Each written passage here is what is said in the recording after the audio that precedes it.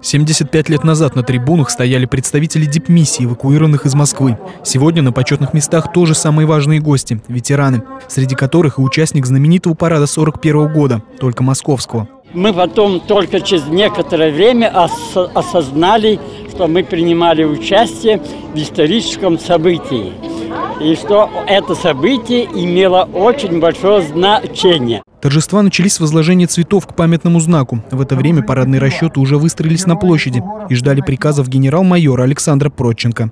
Правые ветера! На! У!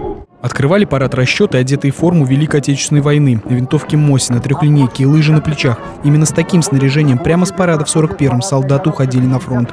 Сразу за ними историческая техника клуба «Они сражались за Родину». Расчеты военных кафедр и патриотических клубов. Замыкал военный парад «Бессмертный полк» с героями Отечества под аккомпанемент народного артиста СССР Василия Ланового.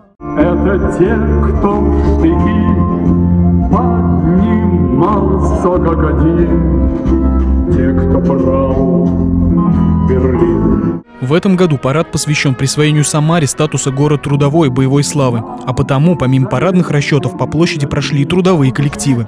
Представители канала «Самара ГИС» вместе с депутатами городской думы были в числе первых в колонне, а всего мимо трибун прошагали 35 тысяч человек. Огромное количество людей приняли участие в параде, и это очень здорово, потому что мы видим, какое количество молодежи принимает участие сегодня, и э, видим интерес.